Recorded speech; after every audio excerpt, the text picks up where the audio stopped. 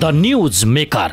नमस्कार the news मेकरको यो अर्को अङ्कमा स्वागत छ। म भूपाल लुइटेल आज हामी संस्कृति पर्यटन तथा नागरिक उड्डयन मन्त्री सुधन किरातीलाई प्रश्न गर्दैछौँ। उहाँसँग विषयको सीमा छैन। व्यक्ति आफै विषय जस्तो भनिनु भएको छ। धेरैले त प्रधानमन्त्रीलाई मात खुवाउने गरेको चर्चा परिचर्चा वा बदनामीसम्मको ट्याग लगाइरहेका छन्। यस्तो के कर्म गरिराख्नु भएको छ जसको राजीनामा पटक पटक मागिँदैछ? सदनमा प्रमुख प्रतिपक्षीदेखि लिएर प्रतिपक्षी दलहरू समेत उहाँको राजीनामा मागिरहेका छन्। के मन्त्री किराती गोजीमा राजीनामा पत्र लेखेर तयार भइसक्नु भएको छ? उहाँको राजीनामा कहिले? नदिनुपर्ने कारण के हुन्? दिनै पर्ने कारणहरू त थुप्रो उठाइएका छन्। ती विषयको मसिनो गरी खेस्रा खेस्रा केलाउने प्रयत्न आजको कार्यक्रममा रहनेछ। हामीसँग माननीय मन्त्री सुदन किराती हुन्छ स्वागत छ यहाँलाई। धन्यवाद मन्त्रीज्यू आराम हुन्छ। हजुर ठिकै छु। सत्र वर्षमा माओवादीका सन्तानब्बे मन्त्री भएछन्। मैले निकालेको हिसाब त्यसमा तपाईँ सन्तानब्बेौँ कान्छो। बधाई पनि छ। धन्यवाद। पाँच सय तेह्रजना सांसद पनि भएछन्। छोटो अवधि जस्तो लाग्थ्यो। कति धेरै मन्त्रीको सङ्ख्या देख्दा त माओवादी त आम्मामा सत्तै सत्तामा छ कि जस्तो लाग्ने। अस्थिर राजनीति छिटो छिटो बदलिने प्रक्रियाले देशले परिणाम पनि पाउन सकेन। स्वाभाविक रूपमा मन्त्रीको सङ्ख्या धेरै भयो त्यसलाई अन्यथा मान्नु हुँदैन। सन्तानब्बेौँ मन्त्री माओवादीबाट मात्रै गन्दाखेरि पर्दाखेरि गौरव लाग्छ कि पश्चाताप? राजनीतिक अस्थिरता भएको हुनाले सुख लाग्दैन। दुःखै लाग्छ। अब दुःखै लाग्छ भन्नु पर्यो किनभने हामीले सत्र वर्षदेखि एउटा पार्टी जसले उसकै शब्दको जनयुद्ध गर्यो दस वर्षको त्योभन्दा लामो कालखण्ड त सत्तामा पुगेछ तिन पटक चार पटक त सत्ताकै नेतृत्व गरेको छ मन्त्रीहरू अविच्छिन्न रूपमा छन्। दुःख लाग्छ कि त्यस बापत देशमा के भइरहेको छ भन्ने देख्दा यो हाम्रो। बसमा थिएन भन्ने लाग्छ। को कति मन्त्री भयो भन्ने कुरा गौरव गर्ने कुरा भएन। हामीले राजनीतिक अस्थिरताको कारणले नै छोटो छोटो समय अवधिमा नै रिटायर हुनुपर्ने यो प्रक्रियाले नै परिणाम दिनु नसक्दाखेरि अलिक दुःख चाहिँ लाग्छ नै। छोटो समय यो त हाम्रो बसमा थिएन फेरि। नेपालको समग्र सिङ्गो राजनीतिको मातहतमा थियौँ हामी त। तपाईँले कार्यभार सम्हालेको पनि एक वर्ष कटो। चार माघमा कार्यभार सम्हाल्नु हो तिन माघमा शपथ लिनुभएको थियो। तेह्र महिनाको दौरानमा छु। हुनुहुन्छ।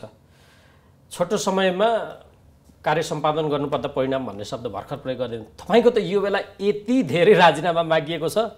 राजीनामा पत्र तयार पार्नुभयो। के को लागि पार्ने? मागेका छन् नि। तपाईँ सुदन किरातीलाई प्रश्न हो जो पदमा लोलुप छैन जो त्यो पैसामा आँखा देख्दैन जो ज्यानलाई हत्केलामा सेनाको बङ्करभित्र बुट बजारिएर ज्यान भर्यो कि भोलि भन्ने अवस्थाको नेता मन्त्रीको राजीनामा मागिएको जाब। प्रमाणित भएको दिन त म एक मिनट पनि बस्दिनँ। तर हल्लाको भरमा कागले कान लगो भनेर कान छाम्छु म पहिला काग खेद्दिनँ। धुलीखेल पारी आकाश झरो अरे भनेर तपाईँहरूले पत्याउनुहुन्छ। ती धुलीखेल पारी आकाश झरो अरे भनेर हल्ला गर्ने। अर्थात् छट्टु स्यालले चाहिँ चिल्लायो चिल्लायो भनेर माथि मान्छेहरूको आँखा माथि पार्नु बाध्य बनाउने तलबाट कुखुरा चोर्ने। स्याल प्रवृत्ति जस्तो लाग्छ र म कान छामिरहेको छु काग खेदिरहेको छुइनँ मन्त्रीज्यू। द्वन्दात्मक भौतिकवाद मार्क्सवाद लेनिन माओ। त्यो पढ्नुभयो तपाईँहरूले कम्युनिस्ट स्कुलिङ नै त्यही बढी। त्यो पनि पढियो। युद्ध गर्दा त बढी माओ। नेपालको मौलिकता चाहिँ यहाँ वेद होला पुराण होला लुम्बिनी शान्तिको द्योतक एउटा क्षेत्र जहाँ बुद्धको समाधिस्थल त्यो बेच्न खोज्नुभयो भन्छन् तपाईँलाई। बेचेको त प्रमाणित गर्नु पर्यो नि। निर्णय तपाईँले गर्नुभयो सार्वजनिक लेखा समितिले रोकिदियो। त्यो होइन। फेरि पनि एकचोटि देशका सज्जन पढ्दाखेरि पढ्नु भएन मन्त्रीज्यू। प्लिज। देशका सबै सज्जन मान्छेहरूलाई देशवासी सबै सज्जन मान्छेहरूलाई म आग्रह गर्न चाहन्छु एकचोटि तपाईँहरूले हेरिदिनुहोस् बुझिदिनुहोस्।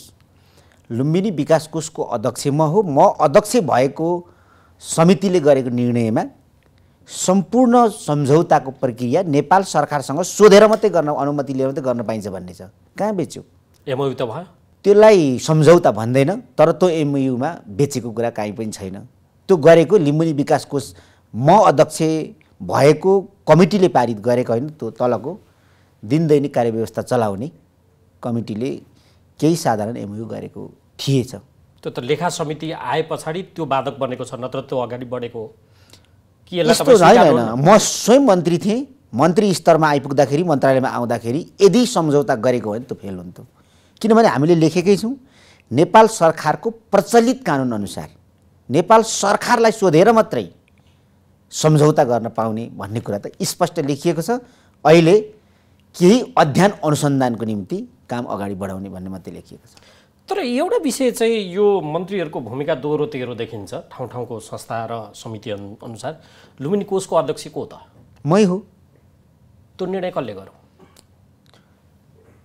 यसलाई नेपाल किरातीले गरेको होइन? लुम्बिनी विकास कोषको अध्यक्षले त गरे हो। म अहिले अध्यक्षता गरेर बसेको बैठकले गरेको निर्णयमा स्पष्ट म तपाईँलाई अहिले पनि त्यो कपी निकालेर देखाउन सक्छु।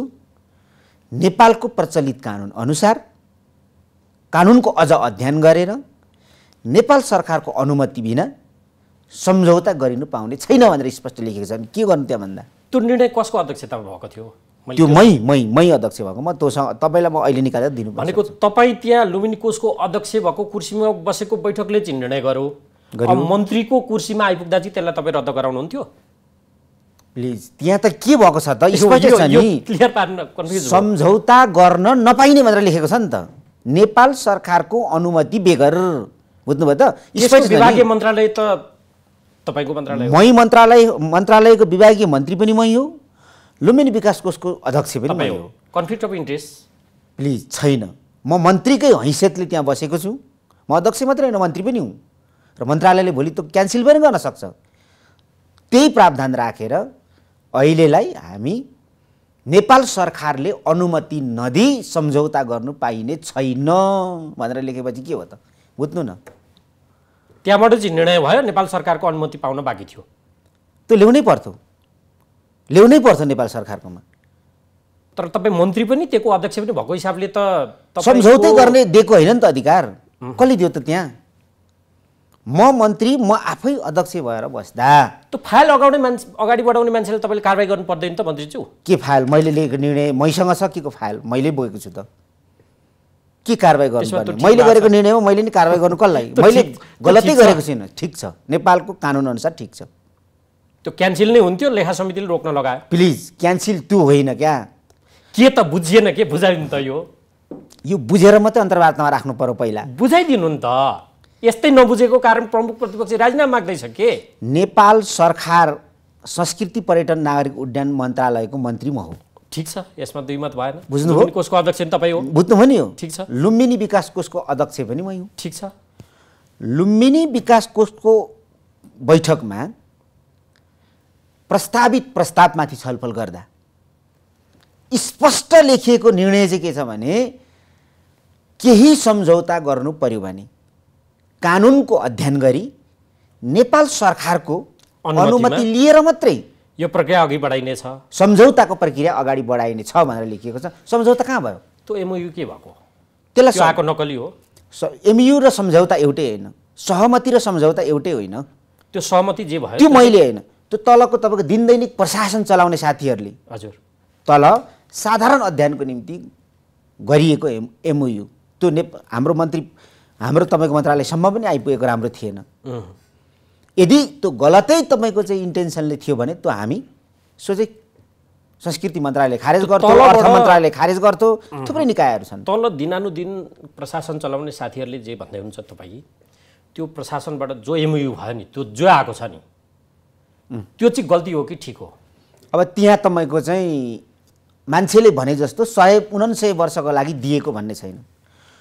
यो सबै तपाईँको चाहिँ लुम्बिनी विकास कोषको निम्ति नेपाल सरकारको निम्ति नेपालको निम्ति नेपाली जनताको निम्ति राम्रो हुन्छ भने मान्जु उनन- तपाईँ स्मरणमा त उनन- हुनुहुन्छ उनन- मैले फाइल त्यतातिर गएँ ल ठिक छ। उनासय वर्षसम्म लिजमा दिन सकिने छ भन्ने शब्दावली परेको छ रहेछ। त्यो म बसेकोले होइन है? तलबाट। तलबाट। दिन सकिने छ भनेको सम्झौता हो। दिइहालेको होइन। दिइने छ भनेको सम्झौता हो त। दिइएको छ भनेको सम्झौता हो त। म्याक्सिमम् यति वर्षसम्म भन्ने एउटा चाहिँ कट अफ डेट राखियो त्यहाँ। दिन सक्ने छ। त अर्को कुरा पनि तपाईँलाई बुझाउँ है। यो कुरा मैले धेरै नै क्लोज गरिसकेको कुरा हो फेरि निकालिहाल्नुभयो। रामग्राममा जग्गा छैन लिजमा दिने जग्गा छैन। अनि त्यो संस्थाको प्रपोजलमा के छ भने यदि यो कार्यक्रमलाई अगाडि बढाउने हो भने सबभन्दा पहिला चाहिँ हामी लुम्बिनी विकास कोषलाई यो जग्गा किन्नको निम्ति पेरिफेरीको जग्गा किन्नको निम्ति पैसा हामी ल्याइदिन्छौँ। त्यो पैसाले लुम्बिनी विकास कोषले जग्गा किन्छ। अनि जो तपाईँको पुरातात्विक क्षेत्रलाई सुरक्षित राखेर त्योभन्दा बाहिरको क्षेत्रमा चाहिँ क्षेत्र चाहिँ हामी फेरि त्यसलाई के गर्छौँ? लिजमा लिन्छौँ र एउटा मक्का मदिना जस्तै बनाउँछौँ। यति यदि यो पवित्र सोच हो भने त्यो क्षेत्रको कायापलट हुने योजना हो। त्यस कारणले अहिले नै भड्काइ पनि नहालौँ पहिला बुझौँ। बुझ्नको निम्ति तपाईँहरू अध्ययन अनुसन्धान गर्नुहोस् भन्ने अधिकार त दिएको हो। कहाँ सम्झौता भएको छ? त्यसो यो प्रक्रिया त अघि बढ्छ बुझ्ने प्रक्रिया त। अब तपाईँको चाहिँ यो सबै लेखा समितिले लेखा समितिले निर्देशन गरिसकेपछि यो फेरि जिरोमा झरौँ अहिले स्टप छ। स्टप भयो। अब यो अघि बढ्दैन। अहिले अब अब नयाँ तपाईँको चाहिँ विषय नै यो अगाडि बढ्दैन। तपाईँ मन्त्री हुँदासम्म यो अघि बढेन अब। अब बढ्छ या बढ्दैन त्यो थाहा छैन जे होस् अहिले अघि बढेको छैन। जिरोमा झरौँ प्रश्न तपाईँको राजीनामा मागिने चाहिँ धेरै खालका छन्। अब यो आजको मेरो कार्यक्रम नै तपाईँको राजीनामा फेरि केन्द्रित होला भन्ने तपाईँलाई लाग्ला तर मैले त सोध्नै पर्यो। प्रश्न बुद्ध समाधि स्थलको मात्र भन्दा पनि त्यो बुद्धको जो बुद्धत्व प्राप्त क्षेत्र शान्तिको एउटा केन्द्र भनिएको छ। त्यसको नेतृत्व पनि तपाईँले कस्तालाई सुम्पिदिनु भयो भन्ने तपाईँमाथि प्रश्न छ नि? यो प्रश्नको जवाब पटक पटक मैले दिएको हुनाले यही टेलिभिजनमा यो यति महत्त्वपूर्ण समय अरू विषयमा छलफल बहस गरौँ यो विषयलाई क्लोज गर्दा नै ठिक होला। मैले सबै दिइसकेको। राज्य व्यवस्था समितिको सभापति तपाईँमाथि यही विषयलाई लिएर प्रश्न तिर्साइराख्नु भएको छ। कहाँ सीमित रह्यो यो सञ्चार माध्यम मात्रै? अब लकरमा लगेर गोली राख्नेलाई तपाईँ शान्ति क्षेत्रको नेतृत्व सुम्पिने मन्त्री भनेर प्रश्न तपाईँमाथि छ। नैतिक प्रश्न भन्नु न होइन? नैतिक त होला नि। अनैतिक मान्छेले नैतिक प्रश्न उठाएर के मूल्य रहन्छ र? म नैतिक? होइन। जसले उठायो जहाँ उठायो जो तपाईँले त्यही शब्द उच्चारण गरिराख्नु भएको छ। भनेपछि म भन्छु सम्पत्ति हुनेले मात्रै खर्च गर्न सक्छ। नैतिकता हुनेले मात्रै नैतिकताको कुरा गर्न सक्छ। अनैतिक मान्छेले के नैतिकताको कुरा गर्नु? राज्य व्यवस्था समितिको सभापति प्रश्न गर्दै हुन्छ त सभापतिले त सभापतिले उहीँ बोलाएको भए भइहाल्थ्यो नि। राज्य व्यवस्था मात्रै होइन सुशासनको पनि हो। त्यो त सोझै केन्द्रित हुन्छ नि त। आफ्नो समितिमा लिएर छलफल गराउने डकुमेन्टहरू तान्ने प्रमाणित गर्ने अनि हालिन्छ नि। मन्त्री हुनुको लागि त जन्मेको त होइन। यो मनमा लोभ छैन।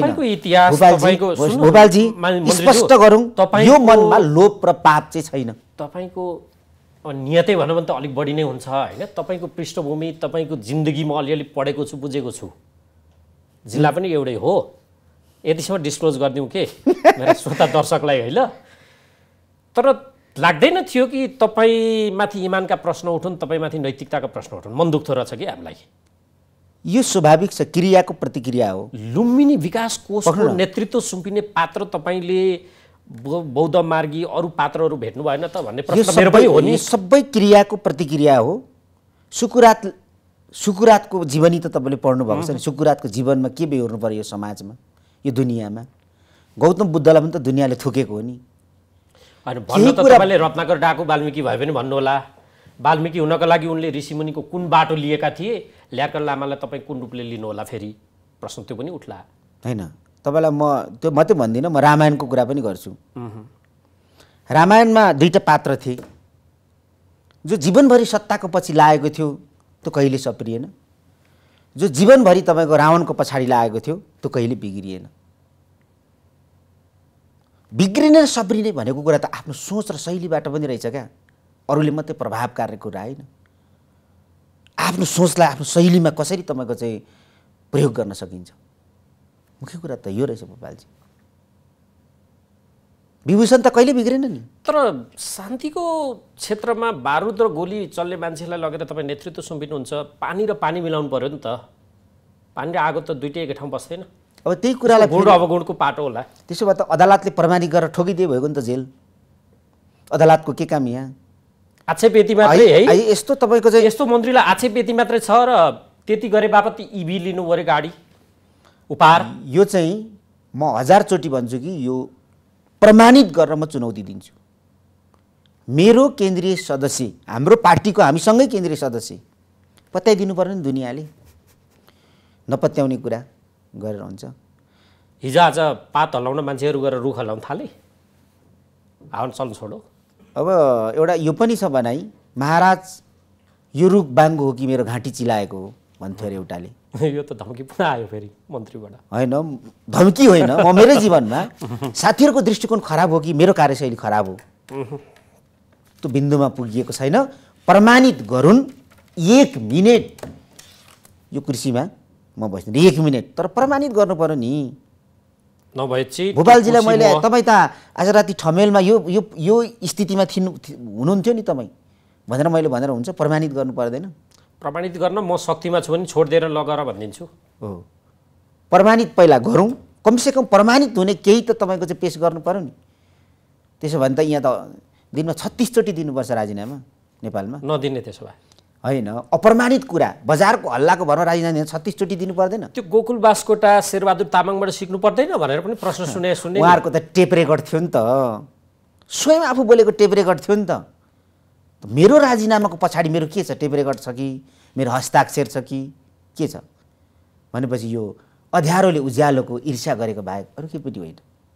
मलाई मलाई राम्रै थाहा छ। यो देश त भीमसिंह थाहाको घाँटी रेटिएको देश हो। The news maker. तर मन्त्रीज्यू अब संस्कृति धर्मको अब तपाईँको मन्त्रालयकै क्षेत्राधिकारभित्रका कुरा छन् यी अन्यथा पनि हुँदैन विषय बरालिन पनि। त्यो कुरा गर्दा चाहिँ तपाईँले संस्कृतिमाथिको प्रहार संस्कृति मन्त्री माथि बाटै भयो भन्ने। हिन्दू धर्मावलम्बीहरूलाई कता छिचिमिरा र भ्यागुताको उदाहरण दिँदैसम्म पनि। तर एउटा यस्तो पनि छ यो यो यो एक थरी मान्छेका कुरा हुन्। एक थरी मान्छेको कुरा फेरि ठुलो बहुसङ्ख्यक मान्छेको कुरा सुन्नुहोस्। संस्कृतिमा नयाँ जागरण आयो तपाईँ आएपछि। पहिलाको संस्कृति मन्त्रीहरू प्लेनको चक्का त्यसको तपाईँको चाहिँ अरू पाठ पूर्जा एयरपोर्ट निर्माणमा आएको केमा थियो? संस्कृतिको सौ चारण भएको थियो तर आज मेची महाकालीमा हेर्नु संस्कृतिमा एउटा ठुलो पुनर्जागरण आएको छ। साँच्चै यतिखेर हामीले संस्कृति मन्त्री चाहिँ सही पाएको छौँ भन्ने दिग्गज व्यक्तित्वहरू पनि व्यक्तित्वहरूले पनि मलाई भनिरहेको छ नि।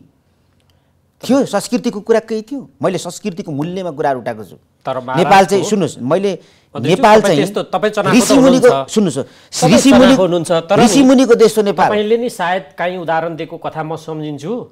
महाराज तपाईँको त गुणगानै गुणगान सबै राम्रै मात्रै छ भन्दाखेरि नाङ्गिसकेको पनि थाहा नहुँदा यो पनि राम्रो छ भन्थे अरे त्यो त्यो स्तरको महाराजको रूपमा म पुगेको छुइनँ।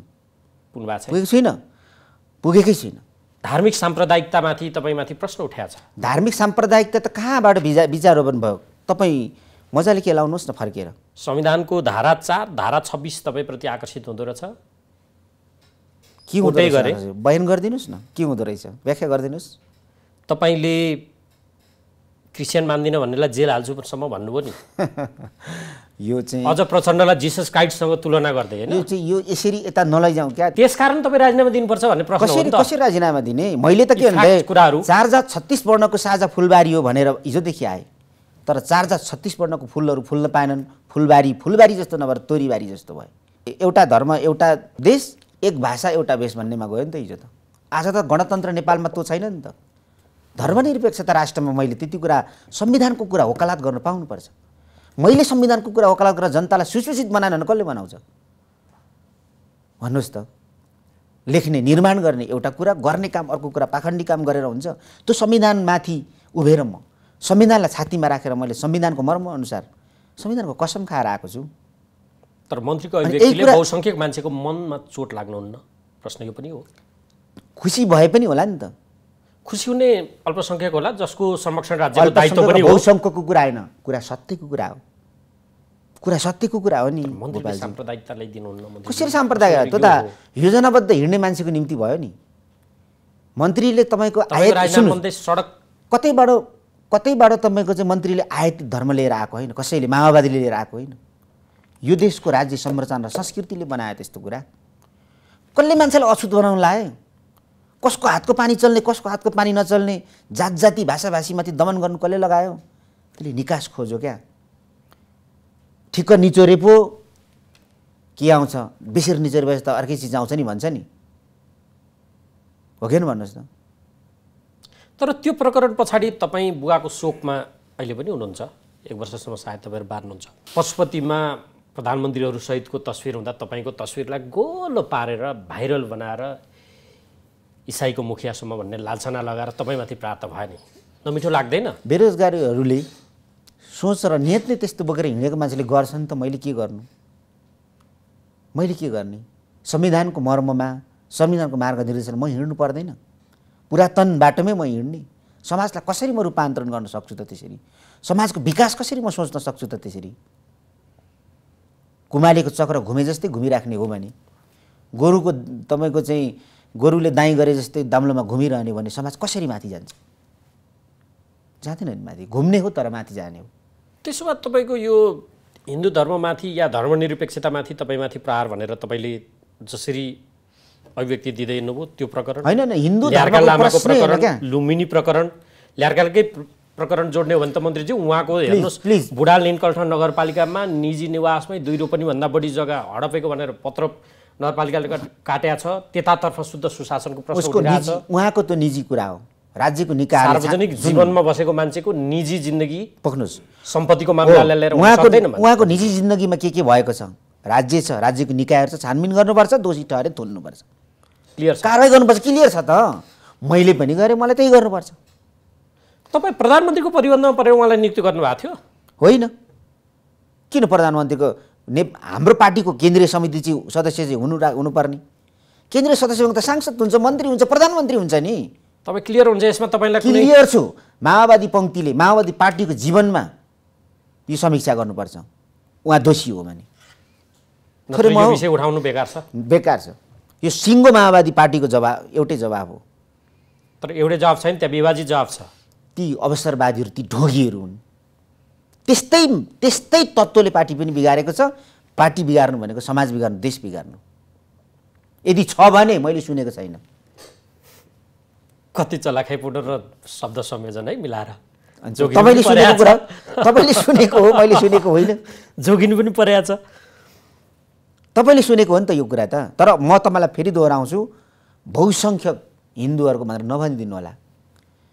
सबभन्दा बढी यो देशको सनातन धर्म हिन्दू। बचाउनुपर्छ भनेर श्री पशुपति हिन्दू विश्वविद्यालय खोल्ने अग्रिम पहल गर्ने म हो। म त्यो अभियानमा छु। हिन्दू दर्शनलाई विश्वव्यापी रूपमा फैलाउँ। पर्यटनको एउटा आधार बनाऊँ अध्ययन अनुसन्धानको केन्द्र बनाऊँ म हो नि। तर जसले तपाईँको अतिवादीपूर्ण ढङ्गले हिन्दू धर्मलाई पक्रेर अरू धर्ममाथि बाइस गर्ने त हिन्दू धर्म मास्दैछ क्या? यो चाहिँ सारा देशका हिन्दू लम्बीहरूले बुझिदिनु पर्यो। उग्र भएर होइन हिन्दू धर्मको नाममा तपाईँको चाहिँ व्यथिति सिर्जना गरेर हिन्दू धर्म बाँच्छ। तपाईँसँग धेरै चार छन्। आज यो खटघरामा उभिए जस्तो अथवा यो चार जति सबै पखालालाई बोलाएछ भन्ने आक्षेप मलाई नलागोस्। तर पनि सोध्दै पर्यो। राजनीतिज्ञले चाहिँ जागिर खाने कर्मचारीले चाहिँ राजनीति गर्ने तपाईँको मन्त्रालयमा बढी देखियो कसरी? नागरिक उड्डयन प्राधिकरणको डिजीले के गरिराख्नु भएको छ? निगमको अध्यक्षले के गरिराख्नु भएको छ? अब यसको केही व्याख्या गरौँ? ल भन्नुहोस् के गर्नु के देख्नु भएको तपाईँ आफै त्यसको भुक्तभोगी हुनुहुन्छ नि तपाईँले भनिदिँदा राम्रो तपाईँलाई थाहा। यतिको चतुर नेताले। तपाईँ भन्नु न।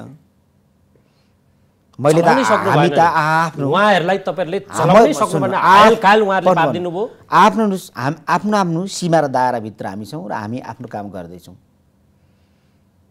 एउटा मन्त्रीले आफ्नो निकायका मातहतका कर्मचारीहरूलाई गाली गर्नु र माया गर्नु उसको अधिकारको कुरा हो। तर एउटा मन्त्रीले अभिभावकले कुर्सीमा बसिसकेपछि नेतृत्वले जाति पार्टी रङ्ग लिङ्गको आधारमा भेदभाव गर्नु हुँदैन। त्यसमा म प्रष्ट छु। तर तपाईँले जे जे गर्न खोज्नुभयो त्यो सबैमा अवरोध हुन्छ भने त्यस्तोलाई तपाईँ काखमा राखेर? पुर्याउनुहुन्छ कि नसेत दिनुहुन्छ अवरोध केमा भएको छ त? देखाउनुहोस् न एक दुई तिन गरेर अवरोध भएका विषय तपाईँले पटक पटक प्रष्टीकरण सोधेर सार्वजनिक गर्नुभएको थियो। गरेँ। त्यो बाटोमा आयो होला नि त। कर्म गरिराखेको होला नि त। अस्पष्ट त देश थिए। जनतालाई मैले स्पष्ट गर्नु थियो। म स्पष्ट हुँ मात्रै थिएन। गरिदिएँ सकिँदो रहेछ कर्मचारी चलाउन? मन्त्रीज्यू? सकेर त गरेँ। नसकेको भए गर्थेँ थोरै। तपाईँ हेलिपोर्ट चलाउन देऊ भन्नुहुन्छ त्यो हुँदैन भनेर डिम्किन उहाँहरू दिनुहुन्न। एउटा उदाहरण थियो। विभिन्न आयोजनाको प्रकरण अहिले त महालेखाले बुदा नम्बर यति नै भनेर तत्कालीन बेलाको आयोजना प्रमुख अहिलेको तपाईँको प्राधिकरणको डिजी अनियमितता केसमा दुई अर्बभन्दा बढीमा मुसिराख्नु भएको छ। अहिले त सिङ्गापुरतिरै हुनुहुन्छ। सिङ्गापुरबाटै। सिङ्गापुरबाटै त्यो ढुङ्गा गिटी के के के के ल्याउने गरेर बनाउने भनेर त्यहाँ पोखराको त्यत्रो भारत छ। अब त्यहीँको रोडा र ढुङ्गा गिटी ल्याएर बनाएर अब तपाईँले पनि फेरि थपथाप गर्नुभयो क्या। हामी हिजोसँगै कालीकोटमा कालीकोटको सिङ्गापुरमा यो प्रकरण के त? ल त्यस्तो हो भने यो? आज यो बहसको विषय भन्दा पनि निकायहरू छन् नि त निकायहरूले गर्दै होला नि त काम। दोषी करार हुन्छ भने त कसलाई बचाउनु छ र हामीले? नियमन गर्ने जानकारीमा आए पछाडि सोधी खोजी गर्ने त मन्त्रालय पनि त एउटा भ्रष्टाचार र सुशासनको पक्षमै विरुद्धमै होला नि। हो यसलाई तपाईँको छानबिन गर्नको निम्ति हाम्रो मन्त्रालयले के सहयोग गर्नुपर्छ त्यो गर्न तयार छ। तपाईँ सोध्ने प्रधानमन्त्री रोकाउने हुन्छ। त्यसकारण अप्ठ्यारो हो त यही त। छ त भ्रम यही छ के भ्रम? यो भ्रम हो यसलाई म स्वीकार गर्दिनँ। अस्वीकार गर्छु भन्दा अलिक कडा हुन्छ होला। तपाईँ चलाउनै सक्नुहुन्न प्रधानमन्त्रीसँग गएर उहाँको उठबस हुन्छ अनि? नचलेको भएदेखि यो के भइराखेको छ त? सबभन्दा बढी विरोध गर्नुपर्ने कारण त धेरै चलाएर हो नि त। बढी स्पिड भएपछि हावा पनि त त्यत्तिकै आउँछ नि त। विज्ञानको नियम हो नि त यो। तपाईँले गर्न खोजेका सबै चिज हुन सके त? प्रश्न त्यो हो नि म त अझै राति यो देश सम्म सम्मगम्म बनाउन चाहन्छु नि। चाहे जति हुन्छ। यही पुरानो संरचनामा पुरानो सोचमा पुरानो संस्कृतिमा पुरानो विक प्रवृत्तिमा पुरानो ऐन कानुनमा म त आजै राति तपाईँको यो देश बनाइदिउँ जस्तो लाग्छ नि। जादु त होइन रहेछ देश बनाउनु त। समय लाग्दो रहेछ।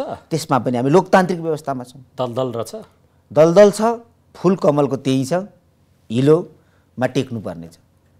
कमलको फुल हिलो भए पनि फेरि त्यो त्यो कमलको फुलले लोभ्याउँछ। अब टिपेर मात्रै देवतालाई चढाउन सकिन्छ। देवता भनेको फेरि मूर्ति होइन जनता हुन्। मन्दिर भनेको देश हो। त्यहाँ मस्जिद भनेको फेरि अर्को अर्थ लाग्छ त त मन्दिर मात्रै भन्दै हिँड्छस् ल मन्दिर मस्जिद चर्च माङखिम सबै। बडो गाह्रो छ जोगेर बोल्नु होइन किनभने बहुसांस्कृतिक बहुभाषिक देश कसैको मनमा पनि आँच नपुगोस्। त्यसमा कर्मचारी तहबाट तपाईँलाई एकदम धेरै सहयोग छ तपाईँले भने जस्तो काम ड्याङ ड्याङ ड्याङ परिणाममुखी ल्याउन सकिराख्नु भएको छ। मभन्दा पनि बहादुर यो ब्रह्माण्डै देश विश्व होइन ब्रह्माण्ड चलाउँछु भन्नेले पनि यति नै हो गर्ने। यो संरचनामा बसेर यहाँभन्दा बढी चाहिँ सपनाको राजकुमार ल्याएर गरिदेला यो त फेरि हात उठाएको जस्तो भयो मन्त्रीज्यू कसरी हात उठाएको? गरिरहेको छु भन्ने यो प्रमाण हो। कसरी बढी भनेपछि त तपाईँ त एउटा लेभिटेसनमा लगेर ठ्याक्कै स्टप गरिदिनु भयो नि। सन्तुष्टि भनेको प्रगतिको बाधक हो। सन्तुष्टि? ए बाबा अहिले गर्नु सक्ने कुरामा भनेको छु। यति गरेर देखायो हो नि त अर्कोले। तपाईँले सोचेको जस्तो टिम भए अनुसारकै काम भइरहेछ यो मेरो होइन त्यो हो त भएदेखि त तपाईँको धेरै अरू गरिन्छ नि त। अझै भएको त छैन होला। तर पनि यस्तो अभावमा पनि सङ्कटमा पनि समस्यामा पनि चिर्न सफल भइँदैछ अगाडि नै गइँदैछ। एउटा रकेटको स्पिडमा जाओस् भन्ने जनताको चाहना हुन्छ तर एउटा देशको आवश्यकता हुन्छ। तर एउटा प्राधिकरणको डिजी वा निगमको अध्यक्षले मन्त्रीलाई जब घुमाइदिन्छ नि माखे साङ्लो जस्तो। घुमाएको छैन। त्यसपछि हामी यो प्रश्न गर्दैछौँ। घुमाएको छैन। काम गर्ने सीमाहरू कानुनको कारणले प्रवृत्तिको कारणले संस्कृतिको कारणले केही होलान् तर घुमाएको छ। कसले चाहिँ त्यसो भए कसलाई कसलाई तिनलाई बदलेर? परिणाम दिनका लागि त्यो अनुरूपको तपाईँको स्पिड अनुसारको टिम बनाउन सक्नुभयो? न त तिनले तपाईँलाई अघि बढ्ने म चाहिँ छुट्टै ग्रहको मन्त्री हो र। हुनु पर्थ्यो भन्ने अपेक्षा त राख्न सकियो नि। त छु त। त्यही भएर त अरूको भन्दा बढी आलोचना भइरहेको प्रश्न गरिरहेछौँ हो त्यही भएर त फेरि तपाईँको प्रश्नलाई तपाईँकै प्रश्नले काट्दैछ क्या। काटेन मन्त्रीज्यू। अनि किन मलाई विवादित गराइराखेको त त्यसो भए? त्यो त तपाईँको प्रमुख प्रतिपक्षीहरूलाई सोध्नु पर्यो। हो। तपाईँकै चाहिँ सहयात्रीहरूलाई सोध्नु पर्यो अरू पनि त मन्त्री छन् अरू। पनि मन्त्री छन् नि त। अध्यारोमा बस्ने लाटकोसेरालाई उज्यालो मन पर्दैन क्या। उज्यालो मन नपर्ने छटपटाएको हो नि त। अन्यथा त प्रमाण पेस गरी भइहाल्यो त। त्यसमा कर्मचारी तपाईँको ग्रिपमै छन्। छन्। कसैले पनि क्रस तपाईँलाई गरेका छैन। छैन। मान्छे हाँस्लान् के मन्त्रीज्यू फेरि? त्यही कुरो कति दोहोऱ्याइस् भन्नु होला मलाई। अब हाँस्नु त राम्रो कुरा हो नि त। स्वास्थ्यको लागि राम्रो हो हाँसे भयो नि त हाँस्नेहरू। तपाईँ जहाज ल्याउन खोज्नुहुन्छ कर्मचारी तल तल मिल्छन् मूल्याङ्कन समितिबाट फेल गराइदिन्छन्। फासफुस ती छ। फेल गरेको कुराको जानकारी नहुँदा हुनुहुन्छ। मैले फेल भएको आधिकारिक निर्णय प्राप्त गरिसकेको छैन। नेपालको ऐन कानुन हो। नेपालको ऐन कानुन पालना नगरे मान्छे हातकडी लगाएर जेल जानुपर्छ। नेपालको ऐन प्रचलित ऐन कानुन अनुसार देशको अहिलेको आवश्यकता हो। जहाज चाहिन्छ मैले भनेको छु मलाई चाहिने जहाज हो। तर मैले प्रमाणित रूपमा आधिकारिक रूपमा मैले सुनेको छैन फेल भएको। अब यो किन हो भन्दा एक त हाम्रो ऐन कानुनको जटिलता बुझ्नुभयो? अर्को चाहिँ हाम्रो संस्कृतिको हाम्रो सोचको हाम्रो प्रवृत्तिको जटिलता छ। हिजो म तपाईँको कालीकोटमा जहाज लगेर जाँदाखेरि दस हजार मान्छेभन्दा बढी उपस्थित थियो जहाज हेर्नुलाई। एकजना बाले के भन्न थाहा छ? पुरै गाला तपाईँको चाहिँ मुजा परेको बाले मलाई के भन्नु सत्तरी वर्षमा पहिलोचोटि जीवनमा मैले जहाज दुईवटा जहाज हेर्नु पाएँ नानी भन्नुभयो। त्यतिखेर म रुएँ क्या। एयरपोर्ट बनेको छ। जनता जहाज चढ्नु आतुर छन्। आवश्यकता छ। होइन? तर यहाँ जहाज किन्नु दिँदैन। यहाँका तपाईँको कालो सिसा लगाएको एसीमा हिँड्ने सक्दाखेरि चार्टर हेलिकप्टर गरेर हिँड्न सक्ने मान्छेलाई जहाज चाहिएको छैन। दुर्गमलाई जहाज चाहिएको छ सुदूरपश्चिम र कर्णालीलाई। सुदूर पूर्वलाई चाहिएको छ जहाज।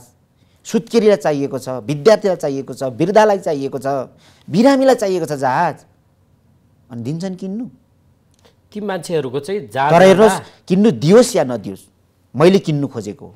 देशको आवश्यकता तपाईँको चाहिँ महसुस गरेर मैले किन्नु खोजेको हो।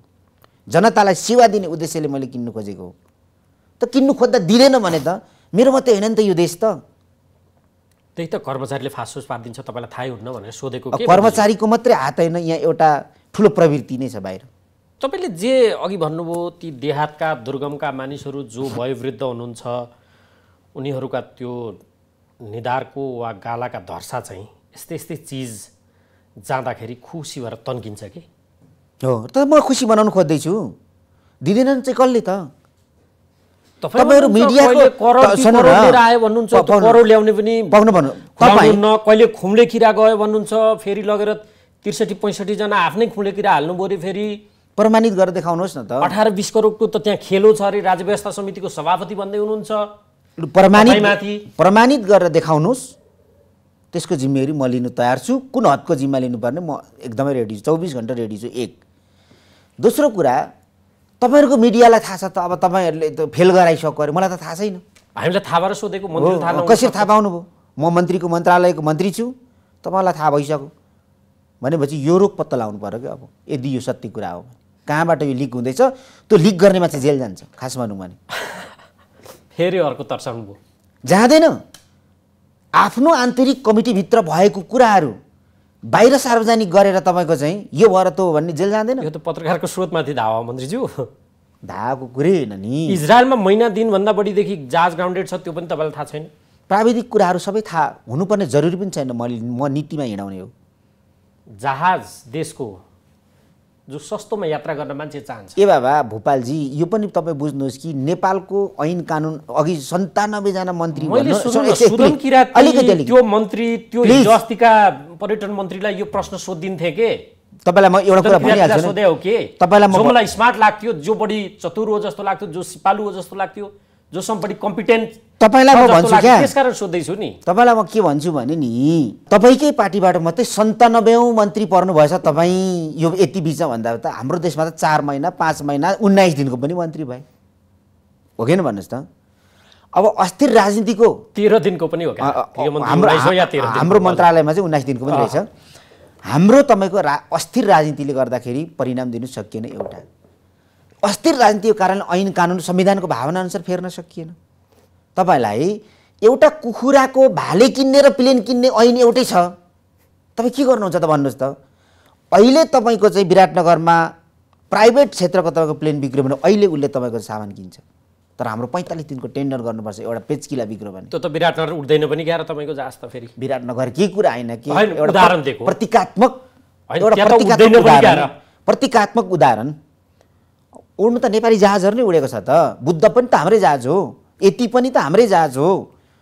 तर नेवा निभाबाट चल्ने जहाजको कुरा गरेको छु। हामी त कु- बाख्राको पाठो किन्ने र तपाईँको चाहिँ प्लेन किन्ने एउटै ऐन छ क्या। यसलाई सच्याउनु पर्ने छ।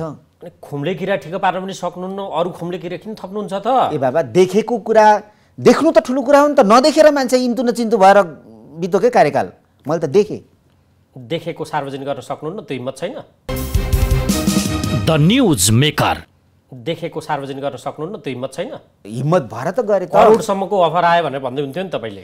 अब यो पुरानो चाहिँ फेरि त्यो चक्र त्यता घुमाएर लानु नयाँ कुरा गर्नु पऱ्यो क्या तपाईँ जतिको मान्छेले अब। त्रिसठीजना कार्यकर्ता त तपाईँले भर्ती गरिदिनु भएछ ल प्रमाणित गरेर कसरी देखाओस् न त यस्तो असत्य कुरामाथि किन समय खर्च गर्ने? तपाईँको अध्यक्षले सोद्धा भइहाल्छ नि। र सोधेर तपाईँ त समाचारको स्रोत पनि हो तपाईँ। अघि पत्रकारको अधिकारको कुरा पनि उठाउनु भयो माग्नु न। मन्त्रीले कुन चाहिँ कतिजना मन्त्रीले हस्ताक्षर गरेर लगाएको छ माग्नुहोस् त ल विवरण लिनु भ्याउनु भएको छ होला। मैले मलाई किन चाहियो? मैले लगाएकै छु नि त मलाई किन चाहियो? त्यो त तपाईँहरूलाई चाहिएको छ नि बढी। चाहिने मान्छेले खोज्नु न। एकाडेमीदेखि लिएर यी विभिन्न निकायमा मौका यही हो भनेर तपाईँमाथि जातिकरणको पनि आरोप लाग्यो अयोग्य मेरै नाम गरेको अध्यक्ष त तपाईँले लगेर एकाडेमीमा राख्नु भएको छ होइन? जिल्लादेखि त्यो धेरै भयो के? यसको उत्तर दिएको। होइन ल मैले सुरुवात त्यहाँबाट भएको हो क्या र मैले सम्झाएको मात्रै। जेसुकै होस्? कानुनी रूपमा गैर कानुनी भएन। तपाईँको चाहिँ अयोग्य कोही ठहरिएन। मौका मिल्दाखेरि प्रिभिलेज दिउँ भन्ने रह्यो। होइन इतिहासमा अहिलेसम्म कोही भएन। एकचोटि हुँदाखेरि यत्रो चाहिँ को को होलो गर्नुपर्छ भन्ने यो कुन चिन्तन हो? जसले चाहिँ निरन्तर नेपालमा विभाजन ल्याउनु खोज्दैछ। द्रोह रोप्नु खोज्दैछ। अब के त? तपाईँले तपाईँ जताततै अस्तव्यस्त विवाद हिँड्दैछ पाइला मेट्दैछ राजीनामा मागेको मागेछन् पार्टीभित्रकै अघि तपाईँले भन्नुभयो डा गर्नेहरू। उनीहरूले समेत तपाईँमाथि प्रहार गरिराखेको फायर खोलिराखेको सुनिन्छ। मान्छे नि तोक्न लाउनु भने अप्ठ्यारो हुन्छ नगरौँ। थाहा पनि पाउनु होला। प्रधानमन्त्रीलाई मात खुवाउने गरेको प्रचारमा तपाईँ हुनुहुन्छ भन्ने आक्षेप छ। प्रकृतिमा पनि प्रकृतिमा पनि केही कुरा पुरानो मूल्यहरूलाई तोडेर हिँड्दाखेरि धक्का महसुस हुन्छ क्या। खोलाको बाढीको कुरा सम्झिनुहोस् चाहे भूकम्पको कुरा सम्झिनुहोस्। निरन्तरतामा केही कुरा क्रमभङ्ग गरेपछि त्यस्तो हुन्छ क्या। जस्तो तपाईँको शरीरमा घाउ निस्को। त्यो भयो पढ्नुहोस् दुःखलाई दुःखैले काट्छ नि। गौतम बुद्धले भनेको छ तपाईँको शरीरको घाउको अपरेसन गर्नलाई तपाईँको शरीरमा इन्जेक्सनै हानेर दुखाउनुपर्छ। केही नयाँ काम गर्नु खोज्दैछ कतै अवरोध हुँदैछ कतै के हुँदैछ यी तमाम कारणले खोलामा बाढी आए जस्तो विषय गर्जिँदैछ भनेर सम्झिनु न। तर यस्तो हो शरीरको उदाहरण म म प्लिज म जागिर मात्रै खानु आएको होइन है भोपालजी। मन्त्रीज्यू कठोर चिज चाहिँ छेडभङ्गुर भन्दा देखिन्न कि? दाँत हेर्नुहोस् उखेलेर जान्छ त्यो जिब्रो नरम छ कोमल छ कहिले उखेलिन्न के? त्यसो भए ल्याएर के गर्नुहुन्छ? त्यसो भए तम शरणम भनेर बसिराख्नु पर्ने। शास्त्रको दण्डन गरेर बसिराख्नु पर्ने। सक्दिनँ म त। हच्किनु पनि भएको छ नि प्रधानमन्त्रीसँग। किन हच्किनु पर्यो प्रधानमन्त्रीसँग टसल ल्याइदिनु खोलिस् नभन्नु होला। त्यो त्यो तपाईँले नियतले गर्नुहुन्छ अर्को कुरा हो प्रधानमन्त्री त्यस्तो छैन। अहिलेको जतिको सजिलो प्रधानमन्त्री इतिहासमा फेरि इतिहासले प्राप्त गर्छ कि गर्दैन त्यो चाहिँ मलाई थाहा छैन। आलोचना पनि गर्न सक्ने नेता हो तपाईँ। किन अनि फेरि प्रधानमन्त्री चाहने रोज्नुहुन्छ र? अब तपाईँ आलोचना गर भने टसल भन्नुहुन्छ। के हो यो तपाईँहरूको कुरो के? म त तपाईँहरू पो बुझ्दै छुइनँ त म त आज। भारत भ्रमणको तपाईँले प्रधानमन्त्रीको चर्को आलोचना गर्नुभयो नि। अब यही कुरा फेरि दोहोऱ्याएर पुऱ्याउनुहुन्छ आज धेरै नयाँ कुरा तपाईँसँग हुन्छ होला भनेर म। यो कुरा। भारत भ्रमणमा मैले के गरेँ? मैले यहाँ त म तपाईँहरू अ, त्यहाँ उपलब्धिमूलक मेरो मन्त्रालयसँग उपलब्धिमूलक थिएन नि त। मेरो मन्त्रालयसँग मुद्रा त आयो। प्रधानमन्त्रीको त उपलब्धि भयो नि। सम्माननीय प्रधानमन्त्रीको भारत भ्रमण त ऐतिहासिक भयो। तर मैले कहाँ गर्नु खोजेको भने नि भोपालजी? हवाई रुट। होइन होइन। हवाई रुट पनि प्रधानमन्त्री जिम्मा लिएर जानुभएको हो। मेरो कुरा के हो भने ताँतीका ताँती सयौँजना देशलाई खर्च गराएर जनतालाई ऋण बोकाएर नजाउँ भन्ने शर्तमा मैले भनेको तपाईँहरू लगेर प्रधानमन्त्रीसँग जोड जोड दिनुहुन्छ। यो त तपाईँहरू जस्तो बुर्जुकहरूले बिगारेको हो क्या। यसो भन्दा अन्यथा नमान्नु है। ठिक छ भुर्जुक नै सही त्यो त जनताले मूल्याङ्कन गर्ला मन्त्रीज्यू अर्को चाहिँ अब यो जहाजको कुरा पनि हामी छिरिहाल्यौँ तिनवटा अन्तर्राष्ट्रिय विमानस्थल दुईवटा त सेतो हात्ती भए। एउटा जसो तसो चलेको छ त्यो पनि कहिलेकाहीँ तपाईँले त्यहाँको भिडियो तपाईँ आफै पनि सार्वजनिक गरिदिइराख्नुहुन्छ। एक दिन त्यो अन्तर्राष्ट्रिय विमानस्थलमा म आफै एकजनालाई छोड्न गएको। फर्किँदाखेरि त्यो हेल्प डेस्क चाहिँ दिउँसोको दुई बिसतिर पनि खाली थियो यो तपाईँलाई पनि जानकारीका लागि। त्यस्तो छ हाम्रो हेल्प डेस्क। त्यो किन राखियो कसरी राख्यो मसँग तस्बिर कहिलेको मितिमा हो? पन्ध्र बिस दिन जति भयो। ए म फोटो त्यसलाई छ। फलोअप गरिहाल्छु ल। धन्यवाद सूचनाको लागि। फोटै छ। ती विमानस्थल हामी आफै व्यवस्थापन गर्न सक्दैनौँ भनेर त्यो पनि निजी व्यवस्थापन त्यो पनि विदेशी दिने तयारी भयो भन्ने अध्ययन समिति नै बनाएको छ। यसको नियत नियति वा औचित्य या अन्तर्य केही पुष्टि हुन्छ? अब यो दुईवटा एयरपोर्ट सेतो हात्ती भन्नुभयो पहिलोको तपाईँहरू चलाएन भने पनि यसो भन्नुहुन्छ। चलाउने बाटो खोज्यो भने पनि फेरि त्यसो भन्नुहुन्छ। न- त उठी सुख न त बसी सुख। माछाले कि त भुङ्रो रोज्नुपर्ने कि त तावा रोज्नुपर्ने भने जस्तै। यस्तो भयो कि हाम्रो दृष्टिकोण। त्यो बनेको त म आएर होइन एयरपोर्ट त। त्यो एयरपोर्ट त बाह्र वर्ष अगाडि तपाईँको सुरु भएको हो बन्नु बाह्र वर्ष अगाडिको नेतृत्वले जान्नु पर्दैन चल्छ कि चल्दैन भनेर के प्रयोजनको निम्ति बनाइयो? त बनिसक्यो। आज हाम्रो चलाउनु भन्दा अर्को दायित्व छ फेरि छैन नि त चलाउनु त पर्यो। त्यस कारणले अब बल गरेर सरकारले चलाउने यति नै हो। त्यत्रो कोसिस गरियो। पार लागेन। कहिले चार्टर गरियो कहिले के गरियो अहिले सारा कुरा चाहिँ नि शुल्क गरिएको छ र पनि हुँदैन घाटामा छ। अब हामीले के कुन चाहिँ मार्गबाट चाहिँ यसलाई सञ्चालन गर्न सकिन्छ भनेर अध्ययन समिति गरेका छौँ गठन गरेका छौँ। एकातिर विशेषज्ञहरूले भनेको छ नेपालको काठमाडौँको एयरपोर्ट अबको पाँच सात वर्ष पछाडि पुरै क्राउड हुनेछ त्यहाँ त सम्भवै छैन सिङ्गल एप्रोच छ अन्तर्राष्ट्रिय मापदण्डको छैन त्यो। नयाँ एयरपोर्ट चाहिन्छ भनेको छ। दुईवटा एयरपोर्ट चलेको छैन। काठमाडौँमा आकाशमा एक घन्टासम्म जाम हुन्छ होइन? त्यसो भएपछि के गर्न सकिन्छ त? अब फाल्टो फाल्टो तपाईँको दिने पिपिपी मोडलमा। या चाहिँ एउटै ठाउँमा बन्डलिङ गरेर नयाँ एयरपोर्ट बनाउनेसम्म दिने। या अरू उपाय के हुनसक्छ त यो एयरपोर्ट चलाउनलाई भनेर विज्ञहरूको अध्ययन समिति गठन गरेको हो।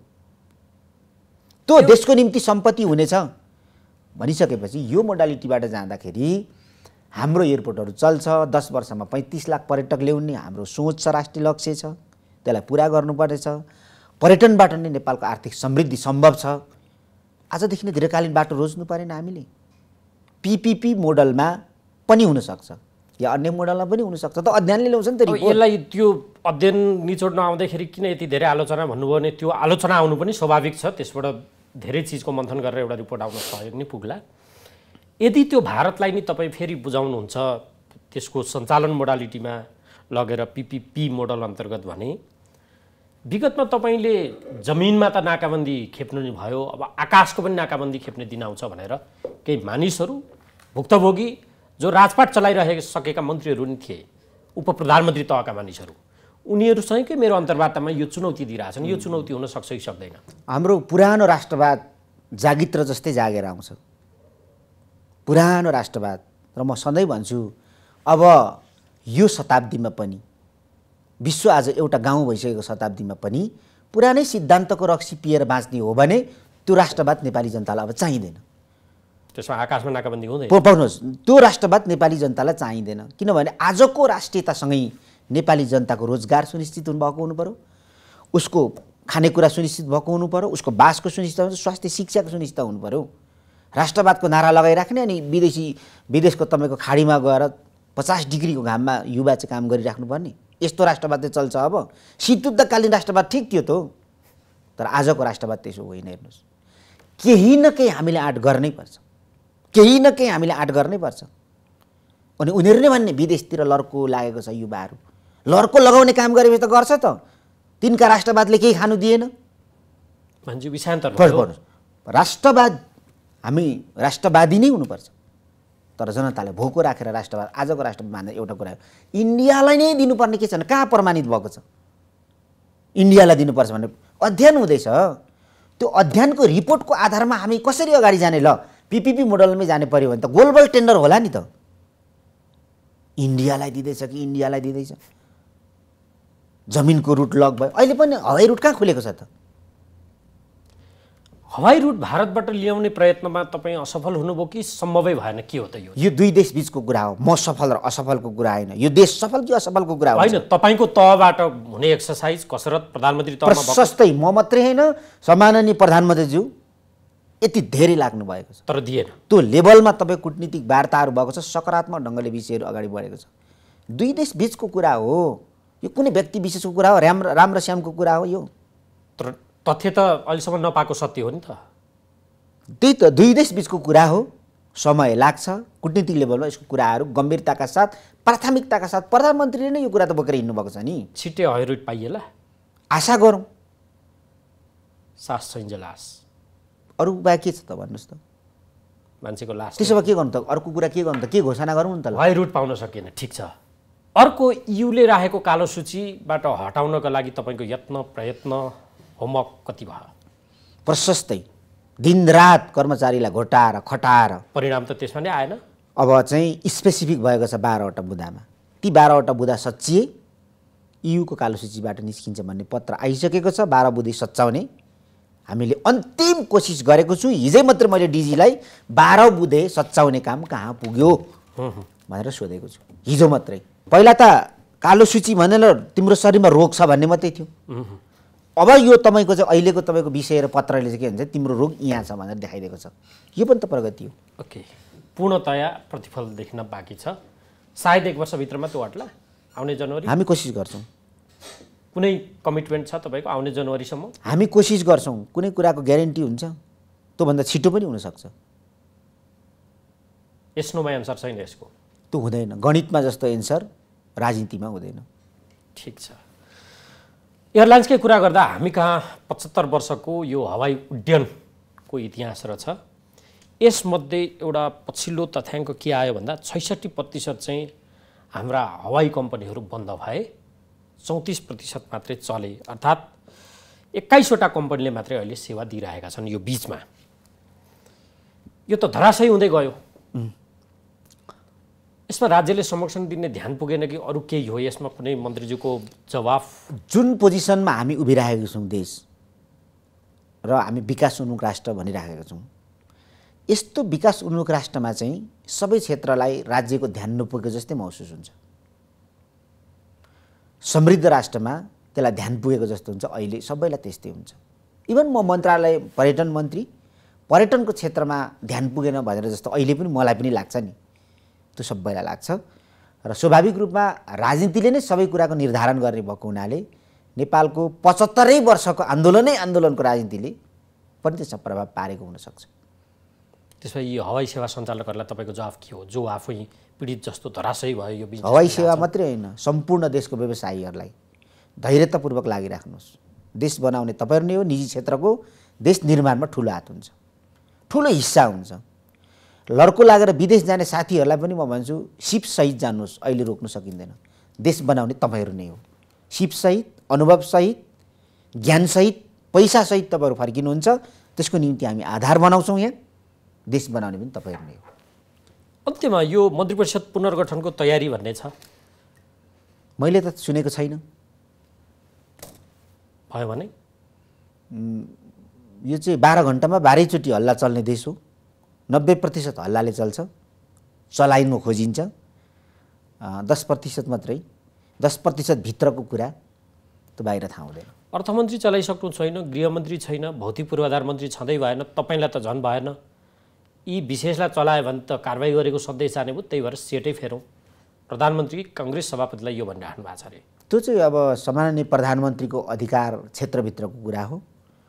उहाँले आफ्नो अधिकार प्रयोग गर्नु जतिखेर पनि सक्नुहुन्छ।